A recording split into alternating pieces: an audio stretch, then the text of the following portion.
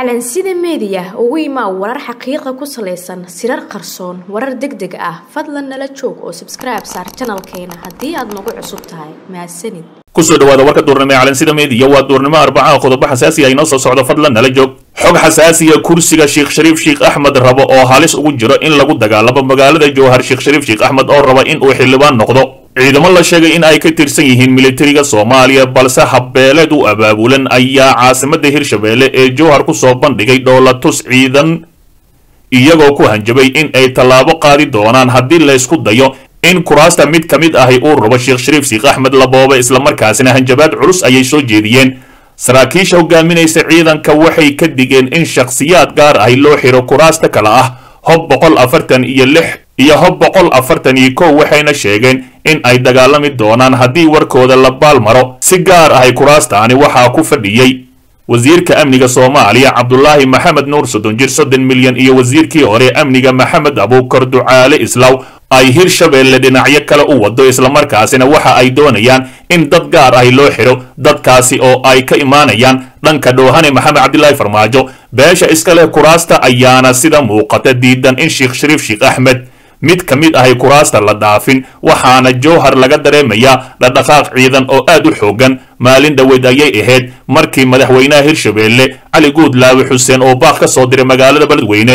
asigoona sheegay in ciidamada saraakiisha militariga ah ee ku soo qulqulaya magaalada jowhar in ay ka baxaan islamarkaasina ay ku laabtaan furimahooda cali guudlaabe oo ah madaxweynaha hirshabeelle ayaa iminka ku sugan magaalada beledweyne waxaana uu sugayaa kursiga loo boobayo fahad yaasiin xaaji daahir ee la filayo in halkaasi lagu qabto. Si kastaba ha ahaatee ciidamo aad u hubaysan oo dhoolatus xooggan soo bandhigay ayaa magaalada jowhar joogo waxayna sheegeen labadaasi kursi in aanan dad gaar ahi loo xiri doonin. Mid ka mid ahna waxaa lagu sharfi doonaa madaxweynihii hore soomaaliya sheekh shariif sheekh axmed. Xaaladda jowhar ayaa aad u kacsan dhinaca kale ra'iisul wasaare rooble oo magacaabay guddi cusub oo ka kooban soddon iyo afar xubnood. Ra'iisul wasaaraha soomaaliya ayaa magacaabay guddi ka kooban soddon iyo afar qof oo isugu jira wasiiro qaar ka mid ahay shaqaalaha xafiiska iyo xubno ka socday bulshada rayidka ahi waxaana guddigaani hogaamin doona ra'iisul wasaare ku-xigeenka xukuumadda mahdi guulid qadar qoraal ka soo baxay xafiiska ra'iisul wasaaraha ayaa lagu shaaciyey in guddigaani uu ka shaqayn doono dardargelinta howlaha gurmadka loo fidinayo dadka soomaaliyeed ee saamaynta ba'an ay ku yeelatay abaaraha ka jira gobollada dalka ra'iisul wasaaraha federaalk soomaaliya mudane maxamed xuseen rooble oo ka duulaya baahida loo qabo dardargelinta howlaha gurmadka loo fidinayo dadka soomaaliyeed ee ay saamaynta ba'an ku yeelatay abaarta dalka ka jirta ayaa magacaabay guddi isku dhaf ah oo ka kooban xukuumadda iyo qaybaha bulshada ayaa lagu yidhi qoraalka ka soo baxay xafiiska ra'iisul wasaare rooble waxaana ugu horreeya mudane mahdi maxamed guuleed ra'iisul wasaare ku-xigeenka dalka waxaana ku xigta marwe khadiijo maxamed diiriye wasiirka wasaaradda gargaarka iyo maaraynta musiibooyinka. Sidoo kale waxaa ku jiro wasiirka maaliyadda master ducaale wasiirka wasaaradda qorshaynta wasiirka wasaaradda amniga gudaha wasiirka warfaafinta dhaqanka iyo dalxiiska wasiirka awqaafta iyo arrimaha diinta wasiiru dowlaha xafiiska ra'iisul wasaare rooble wasiiru dowlaha tamarta iyo biyaha wasiir ku-xigeenka beeraha iyo waraabka wasiir ku-xigeenka xanaanada xoolaha. Fadlan dib u daaw wararkeenii hore ee calansida meediya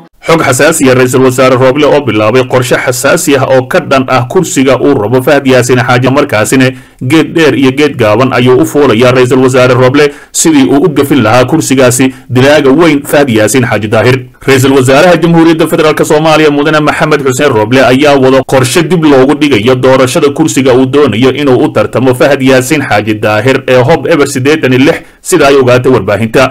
ra'iisul wasaare rooble ayaa u yeeray guddoomiyaha guddiga doorashada heer federaal muuse geelle yuusuf wuxuuna ku amray in dib loo dhigo doorashada kursiga hob eber siddeetan lix oo la filayo inay beledweyne ka dhacdo toddobaadka soo socda. Rooble ayaa guddoomiyaha u sheegay in tartanka kursigaani la qaban doono marka uu dalka dib ugu soo laabto xildhibaankii ku fadhiyey ee faarax sheekh cabduqaadir oo ah garabka midig ee madaxweynihii hore soomaaliya xasan sheekh maxamuud oo mar kale rabo inuu u tartamo kursigaani kaasoo hadda dalka ugu maqan xaalado caafimaad inta badan xubnaha guddiga doorashada ayaa ka hor yimid. Qorshaha uu wado ra'iisul wasaare rooble ee la soo marsiiyey guddoomiyaha guddiga doorashada heer federaal waxayna ku adkaysteen in doorashada kursigaani lagu qaban doono wakhtigii loogu talagalay. Rooble oo ay horay isku qabteen fahad yaasiin xaaji daahir ayaa xooggiisa isugu geynaya sidii uu kursigaani loo dhaafin lahaa. Dilaaga qosle fahad yaasiin xaaji daahir oo hadda ah la taliyaha amniga qaranka ama ugu yaraan loo gelin lahaa tartan furan oo qof walba cadaalad loo sameeyo waxaa muuqata in qorshaha rooble ay si weyn uga hor yimaadeen xubnaha guddiga mana la garanayo tallaabada xigta ee uu qaadi doono ra'iisul wasaare maxamed xuseen rooble. Kooxda madaxweynihii hore dhoohane farmaajo oo ciidan badan geysa magaalada beledweyne ayaa qorshaynaysa inay soo saarto xildhibaano uu ka mid yahay dilaaga qosle fahad yaasiin xaaji daahir oo la rumaysan yahay inuu u tartami doono guddoomiye ku-xigeenka koowaad ee baarlamaanka federaalk soomaaliya maadaama la dhaafsiiyey mashiinkii weynaa ee muudday islamarkaasina gebi ahaanba loo diiday in uu ka dhoofo magaalada muqdisho una dhoofo magaalada baraawe. Dhinaca kale shaki iyo iskuday afgembi oo ka dhacay jabuuti iyo geelle oo tallaabo qaaday. Wararka aan ka helayno dalka jabuuti ayaa sheegaya in xukuumadda ismaaciil cumar geelle saacadihii la soo dhaafay xabsi guri ka dhigtay taliyaha ciidamada booliiska iyo militariga dalkaasi taliyayaashaani ayaa waxaa looga shakiyey qorshe ka dhan ah madaxweyne geelle islamarkaasina ay doonayeen in awood ciidan xukunka uga wareejiyaan. Madaxweynaha muddada dheer dalkaasi maamulayey jenaraal sakariya sheikh ibraahim oo ah taliyaha ciidamada militariga jabuuti iyo korneel cabdulaahi faarax oo ah taliyaha booliiska dalkaasi ayaa la duldhigay ciidamada nabad sugidda iyo ilaalada madaxtooyada kuwaasi oo ka bixi karin gurigooda sida ay sheegeen warar madax bannaan oo la helayo madaxweyne ismaaciil cumar geelle oo lagu eedeeyo inuu yahay kali talis ayaa ka walwalsan in awood ciidan lagu dhaafiyo xukunka jabuuti oo uu maamulayay in ka badan labiiyo labaatan sano. Waxa uu inta badan qabtaa doorashooyin oo isaga jeedinayo indhaha caalamka iyada oo dalkaasina uusan ka jirin mucaarid xooggan oo ka hor imaan kara. Waxaana la rumaysan yahay in afgembiga la sheegayo uu taageero badan heli lahaa maadaama uu dalkaasi nin keli ah ka talinayay. Muddo aad u fog dhinaca kale afhayeenka ra'iisul wasaare rooble macalimow mucjiso ayay ahayd sidii aan uga badbaaday qaraxii weynaa ee aan ku dhaawacmay. Afhayeenka xukuumadda soomaaliya maxamed ibraahim macalimow ayaa markii ugu horreysay ka hadlay faahfaahinta qaraxii lala beegsaday lix iyo labaatankii janawari ee ka dhacay magaalada muqdisho. Macalimow oo waraysigii ugu horreeyey tan iyo markii uu dhaawacmay siiyey b b c soomaaliya ayaa sheegay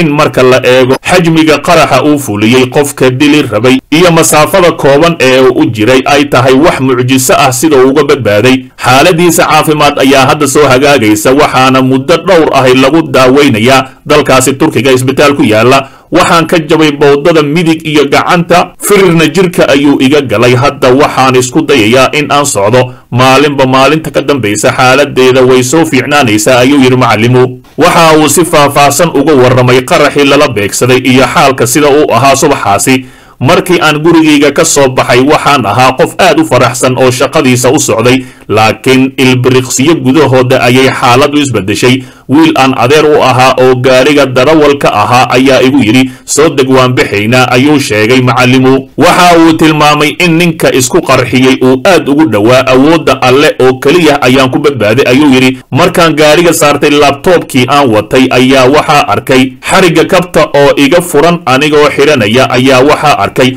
qof isa soo maqiiqaya oo meel aan fogayn soo cararaya waxaan xusuustaa in albaabka gaariga qaybtiisa dambe aan ku riixay oo aan jug ku siiyey laakiin xoog iyo xeelad qofkaa looga baxsan karay ma jirin ee awoodda alle ayaa i badbaadisay ayuu hadalkiisa raaciyey. Waxa uu sheegay in markii uu qaraxa dhacay kadib ay niyadiisa u sheegtay in ugu yaraan qayb ka mid ahi jirkiisa uu ka go'an yahay weriyahan oo hore uga tirsanaa b b c da ayaa sheegay in kastoo uu qaraxyo iyo weeraro badan kula kulmay muqdisho haddana uu rabo in uu ku laabto caasimadda soomaaliya si uu ugu shaqeeyo ummadda soomaaliyeed. Dhegaystow ogow haddaadan xalka qayb ka noqon waxaad qayb ka tahay dhibaatada dalka